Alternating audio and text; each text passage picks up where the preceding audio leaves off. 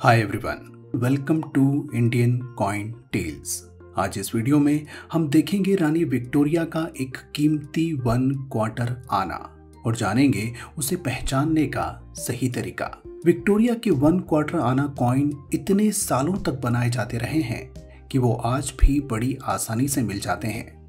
एक लंबे समय तक बनाए जाने की वजह से उनमें कई बार कुछ ऐसी गलतियाँ भी हो गई। जिन्होंने कुछ सिक्कों को बहुत कीमती बना दिया।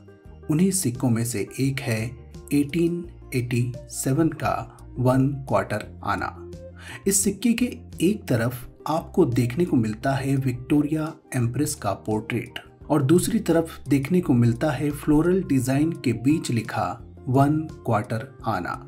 उसके नीचे इंडिया और उसके भी नीचे सिक्के का मिंटिंग ईयर 1887 कॉपर मेटल से बने 6.47 ग्राम्स के ये सिक्के यूएनसी कंडीशन में आज भी काफ़ी अच्छी कीमत रखते हैं।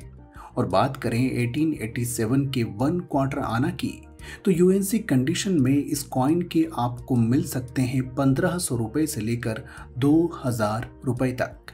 लेकिन ये कीमत सिर्फ़ यूएनसी कंडीशन कॉइन की है।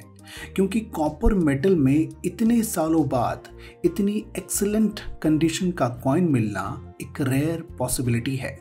इसलिए यूएनसी कंडीशन नहीं होने पर इस कॉइन की कीमत अचानक गिर जाती है और घटकर रह जाती है सिर्फ़ सौ रुपए से लेकर तीन सौ रुपए के बीच, वो भी very fine to extra fine condition में।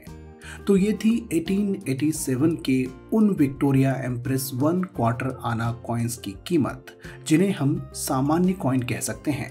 वो इसलिए क्योंकि 1887 के इस कॉइन में एक असामान्य वैरायटी भी देखने को मिलती है।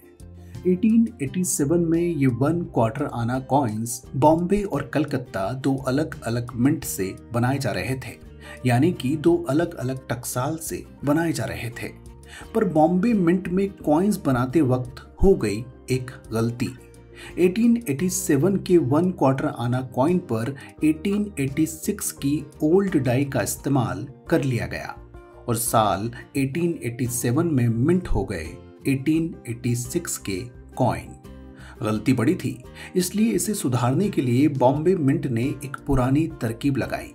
उसने 1886 के लास्ट नंबर सिक्स पर नंबर सेवन रीस्ट्रक करने का फैसला किया। इस प्रक्रिया को रीडेटिंग कहा जाता है, जिसके अंतर्गत ईयर के लास्ट डिजिट सिक्स पर डिजिट सेवन की छाप लगा दी गई।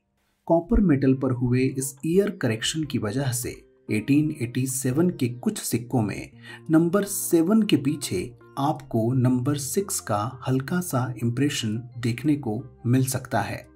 और कुछ सिक्कों में नंबर सेवन थिक, यानी मोटा दिखाई देता है, जिसे थिक सेवन वेराइटी कॉइन भी कहा जाता है। लेकिन जैसा कि मैंने पहले भी बताया कि ये गलती बॉम्बे मिंट से हुई थी और 1877 में ये कॉइन कलकत्ता और बॉम्बे दोनों मिंट से बनाए जा रहे थे। तो आप कैसे पहचानेंगे कि आपके पास जो कॉइन है, वो बॉम्बे मिंट का ही है?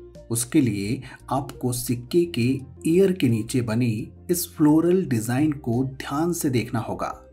अगर आपको यहाँ दो लीव्स देखने को मिलती हैं, यानी कि दो पत्तों के डिज़ाइन इस तरह देखने को मिलते हैं तो ये बॉम्बे मिंट का वन क्वार्टर आना है। तो अब तक हमने 1887 के सामान्य वन क्वार्टर आना कॉइन्स की कीमत देख ली। जो यूएनसी कंडीशन में पंद्रह सौ रुपए से लेकर दो हज़ार रुपए तक है। लेकिन अगर आपके पास 1887 का वो वन क्वार्टर आना है, जिसमें ईयर करेक्शन का इंप्रेशन दिखाई देता है, या फिर जिसमें थिक सेवन वेराइटी दिखाई देती है तो इस एक कॉइन के आपको मिल सकते हैं बीस हज़ार रुपए से लेकर तीस हज़ार रुपए तक यूएनसी कंडीशन में। लेकिन अगर ये कॉइन आपके पास यूएनसी कंडीशन में नहीं है तब भी इस एक कॉइन के आपको मिल सकते हैं आठ से दस हज़ार रुपए तक depending on condition and market availability तो अभी अपने उन one quarter anna copper coins को निकालिए जिन पर बना है विक्टोरिया का पोर्ट्रेट और चेक कीजिए उनका ईयर कि कहीं वो लकी ईयर 1887 तो नहीं। और हाँ बॉम्बे मिंट के दो पत्तों को देखना मत भूलिएगा। कैसा लगा ये वीडियो मुझे कमेंट बॉक्स में ज़रूर बताइए। और अगर आप इस चैनल पर नए हैं तो सब्सक्राइब का बटन और बेल आइकन प्रेस करते जाइए। जल्द ही मिलता हूँ एक और अमेजिंग वीडियो के साथ, सिर्फ़ इंडियन कॉइन टेल्स पर।